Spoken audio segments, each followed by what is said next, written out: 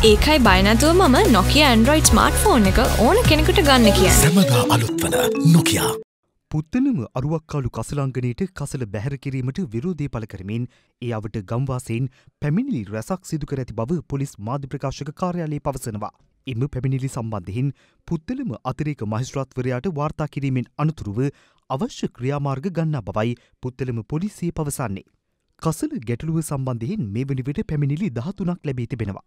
ප්‍රදේශවාසයෙන් විසියට දෙනෙකුගේ නම් සහ අත්සන් සඳහන් නාමලේඛනයක්ද පොලිසියට භාර්දී ඇති බවයි වනතවිල්ලුව පොලිසිය ප්‍රකාශ කළේ.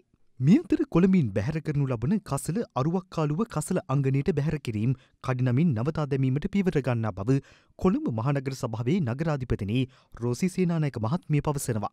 වත්තල කෙරවල පිටිය මුදුරාජවෙල ඉදිකෙරෙන කසල ප්‍රතිචක්්‍රය කරන ව්‍යාපෘතියේ ප්‍රගතිය සොයා බැලීමට එක්වමින් ඇය මේ බව ප්‍රකාශ කලා. අරුවක්කාලු ගෙන යාමේදී විශාල ප්‍රශ්න ගණනාවකට අපිට මුහුණ දෙන්න සිදු වුණා. අරුවක්කාලු ගෙනියීමට යන විශාල මුදල ඉතිරි කරගෙන ඒකෙන් ආරක්ෂක පහසුකම් නැති කොළඹ නගරයේ ජීවත් මේ ජනතාව වෙන සියලුම පහසුකම් ලබා දීමට මේ මුදලෙන් අපිට විශාල දෙයක් කරන්න පුළුවන්.